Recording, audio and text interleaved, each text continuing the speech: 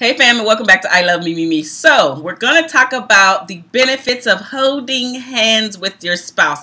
Now I've already talked about two other videos where we're talking about touch. The first one is kissing. The second one is hugging your spouse.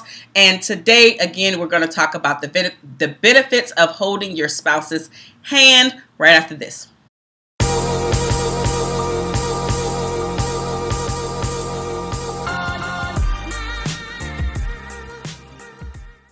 Right, fam, thanks so much for coming back. So for those of you who are finding my channel for the very first time, my name is Marshaun, and I'm your life and relationship strategist. I help men and women alike to create the relationship that they want, need, and desire by helping them to implement simple tips and proven strategies. So now, the first benefit to holding your spouse's hand is the same benefit from kissing, the same benefit from hugging, which is it reduces stress all of the senses of touch, kissing, hugging, now holding hands, all of them relieve stress.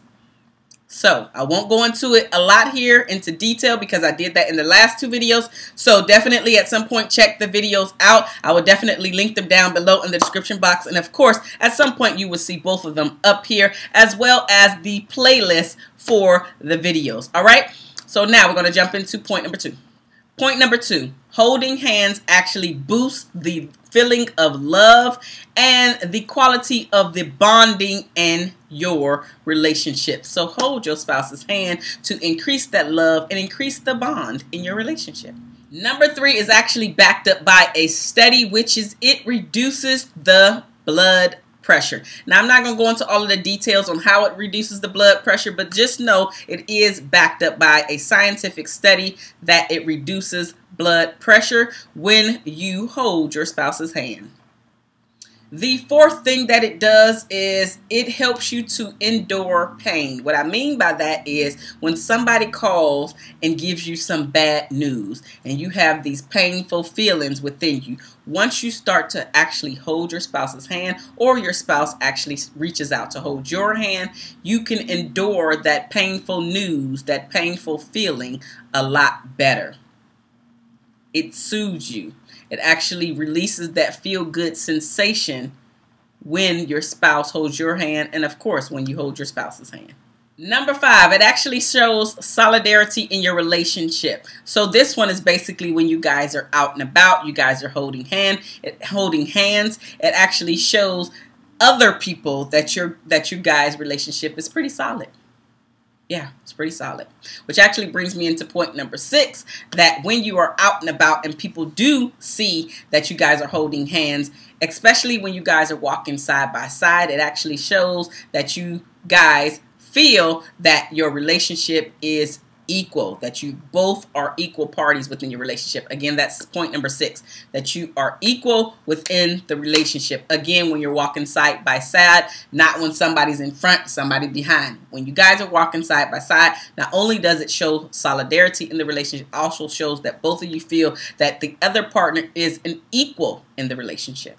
It also shows that you're ready to walk through life with your partner as an equal and that you're ready to match your partner's pace and their steps.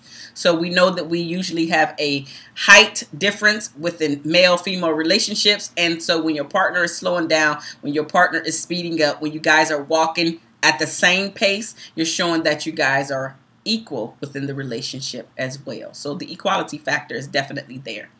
Number seven, it's actually an innate ability that we have in us this is something the the the reaching out and wanting to hold onto something actually starts within the womb at about week 25 and it's where you yes you yes me all of us have actually reached out for our umbilical cord.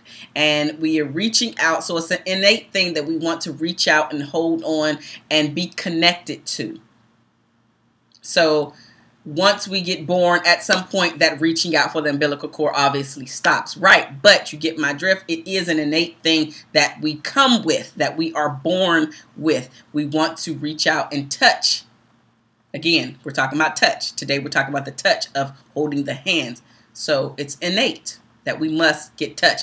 And just as a side note, for those of you out there who have children or do not have children, this is just a side note that did you know that babies can actually die if they do not receive physical touch? Yes, it is a proven fact that if you leave an infant alone for, I, I think it's up, to, I think, I'm gonna have to look this up because I don't want to quote it wrong, but I'm gonna say five weeks. I think that's absolutely a, a long, that's too long of a time. But the point is, after a certain period of time, you're leaving a child there, an infant specifically there with no physical touch from a human, they will actually die. So it is an innate ability. We need physical touch kiss your spouse, hug your spouse, hold your spouse's hand. I will definitely see you in the next video. Deuces.